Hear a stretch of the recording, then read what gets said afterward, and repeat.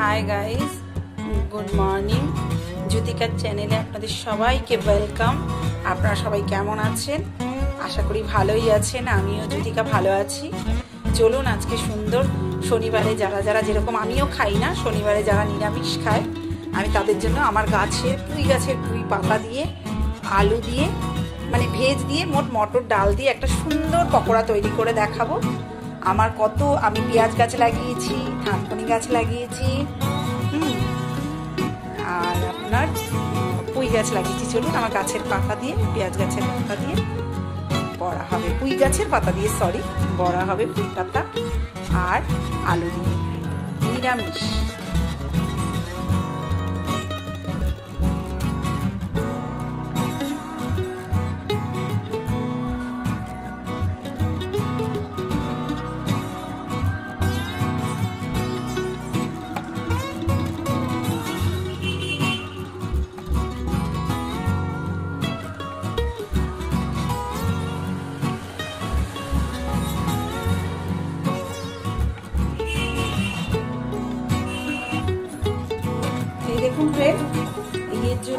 Veg পকোড়ার জন্য আমি ডালটা, আমার বাটা হয়েই এসছে ডালটা। এই ডালটা নিয়ে নিয়েছি, এবার আপনাদের সব দেখাচ্ছি। হাই ফ্রেন্ড দেখুন এই যে ডালটা ডালটা দেখলেন আপনারা? ডালটা বাড়ছিলাম এবার দেখুন এখানে কি আছে? এটা হচ্ছে ওই যে পুঁই পাতা, আমার গাছের পুঁই পাতা। এখানে দেখুন এই যে সিম। আচ্ছা তার সাথে একটু বেসন নিয়ে নিয়েছি যাতে আঠা আঠা হয়, সেই জন্য বেসন নিয়ে নিয়েছি। এবার দেখুন এখানে একটু মিষ্টি চিনি নিয়ে নিয়েছি। এটা আদা, কাঁচা লঙ্কা, বাটা। এটা আলু ঘষে নিয়েছি। এখানে ধনে পাতা আছে, আর এই যে ডালটা বেটে নিয়েছি। এবার এগুলোর, এর মধ্যে কি কি দেবো? ভেজ পকোড়া বাড়িতে বানিয়ে খাবেন। ভেজ পকোড়া দেখুন ফার্স্টেই আমি দিয়ে দিচ্ছি পুঁই পাতাটা। এর মধ্যে ফার্স্ট আমি দিয়ে দিচ্ছি পুঁই পাতাটা। পুঁই পাতাটা দিয়ে দিলাম। এবার দেখুন, আস্তে আস্তে এক এক করে সব দিয়ে দিচ্ছি। এই যে সিমগুলো দিয়ে দিলাম। তারপরে ধনে পাতা দিয়ে দিলাম। আলু দিয়ে দিলাম। আলু কুচানো সব দিয়ে দিলাম। মোটামুটি সবগুলোই এক এক করে সব দিয়ে দিচ্ছি। এইবার দেখুন, এই যে দিয়ে দিলাম এগুলো, এই যে আদা, চিনি, ঠিক আছে? এবার দেখুন, আমি এর মধ্যে কি কি মশলা দেব। এটা নিরামিষ, খুব ভালো পকোড়া, ডালের মটর ডাল দিয়ে। মটর ডাল, বেসন, ধনে পাতা, সিম, বাড়ির গাছের পুঁই পাতা, আপনার আলু ঘষে দিয়েছি। এবার আপনারা দেখুন, এর মধ্যে একটুখানি দেব হলুদ আচ্ছা। এটা হচ্ছে ব্ল্যাক পেপার মানে গোলমরিচ গুঁড়ো। গোলমরিচের গুঁড়ো। এটা দিচ্ছি জিরে, ধনে গুঁড়ো।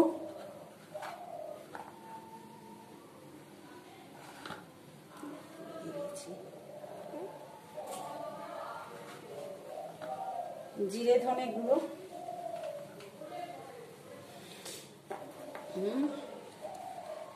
আচ্ছা এবার দেখুন, এটা আমি মেখে নিচ্ছি। আর বেসনটাও আমি দিয়ে দিলাম, খানিকটা দিলাম, লাগলে আবার দেবো, কেন বেসনটায় আটা আটা হবে। এবার আমি দেবো একটু পরিমাণ মতো নুন। তারপর দেবো আমি একটু একটু ঝাল ব্ল্যাক পেপার দিয়েছি বলে অল্প দেবো।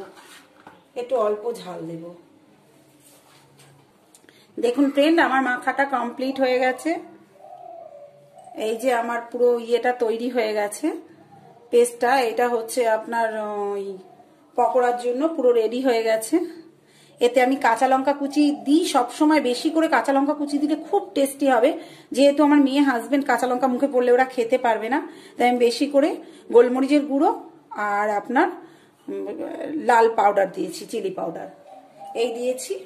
এবার আমি কড়াইয়ে নিয়ে নেব তেল। কড়াইয়ে তেল নিয়ে নেব। সর্ষের তেলেই করছি। সর্ষের তেলের ঝাঁজটা দারুণ হয়। গরম গরম গরম ভাতে খেয়ে দেখবেন নিরামিষের দিন। ভীষণ ভালো লাগে, ভীষণ টেস্টি সন্ধ্যেবেলা মুড়ি টুড়ি দিও, ওতে পেঁয়াজ মেশাতে পারবেন। পেঁয়াজ মিশিয়েও করা যাবে।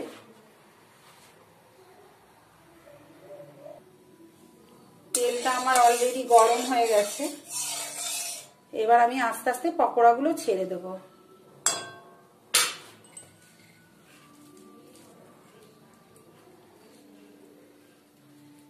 দারুণ টেস্ট হয়, দারুণ। কিন্তু যারা কাঁচা লঙ্কা বেশ মুখে পড়বে, মজা করে খাবে, তাদের তো কাঁচা লঙ্কা না দিলে ভালোই লাগবে না। যেরকম আমারও ভালো লাগে না কাঁচা লঙ্কা না দিলে। কিন্তু কী করব? মেয়ের জন্য, বাবার জন্য দিতে পারব না, বাপিও খায় না, আমার হাজবেন্ড খায় না।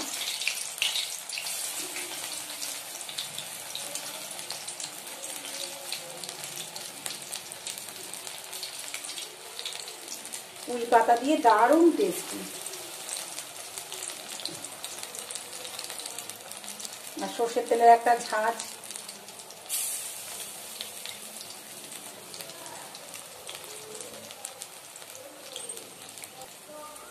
দেখি এবার বড়াগুলো একটু উল্টাবার চেষ্টা করি, একটুও হয়েছে নাকি দেখি।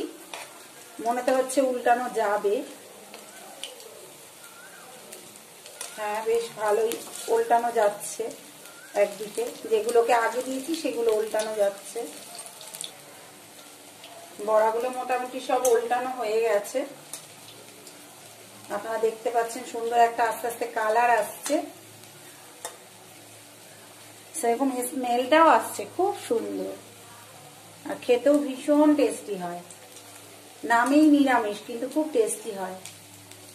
বিশেষ করে আদা, জিরে বা এই আদা কাঁচা লঙ্কা বাটাটা দেওয়ার জন্য। এতে মটর ডালের মিশ্রণটা রয়েছে, একটু বেসন আছে, আর সব ভেজিটেবলসগুলো আছে। এগুলো সন্ধেবেলা আপনারা চায়ের সাথেও খেতে পারেন। দেখুন ফ্রেন্ড বড়াগুলো আমার পুরোপুরি ভাবে হয়ে গেছে। এগুলো আমি তুলে নেব এক এক করে।